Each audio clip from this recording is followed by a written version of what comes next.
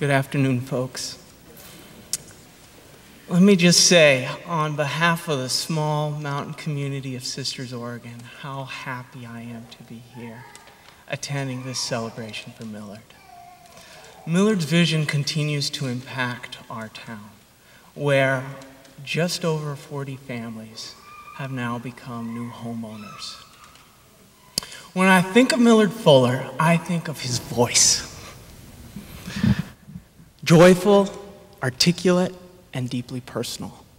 His vision, I think, as we all know, has transformed America and many parts of the world. But right now, today, I, would just like to talk about how his life has impacted mine. I grew up in a Habitat for Humanity home. When I was 10,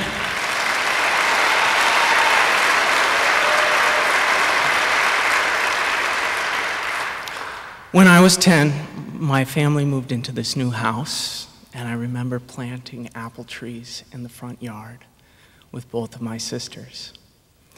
We left behind a house where, in the wintertime, ice would build up on the insides of the windows, and where mold would grow on the walls. Now, today, well, not today, but in a few months, I'll be graduating a doctor from Harvard Medical School.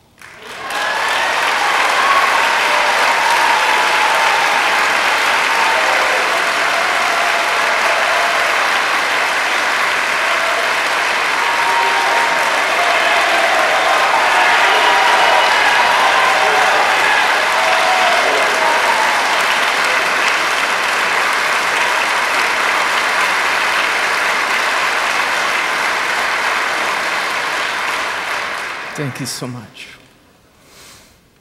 This, this past year, I've spent time working in HIV care in San Francisco. I worked in primary care on the Zuni Reservation in New Mexico, and I've delivered babies in South Africa. Like Millard, I look forward to the day when all God's children will be free. Free, free in the possession of a home of a quality home and with access to high quality health care.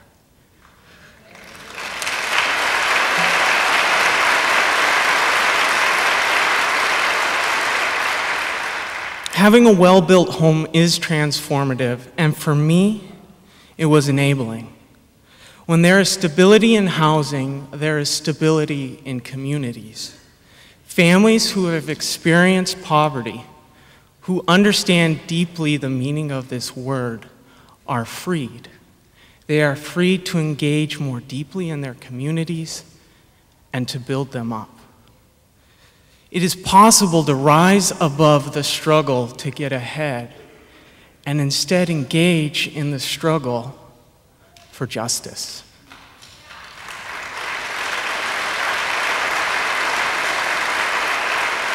Children who are raised in an affordable, decent home, the ones that Millard built, have a better shot of going to college, going to medical school, and other professions. They grow up, and using these skills, they become, they build part of this great kingdom where justice reigns. So today I say, thank you, Millard. Thank you for that house. And thank you, Millard and Linda, for that piece of freedom. Thank you.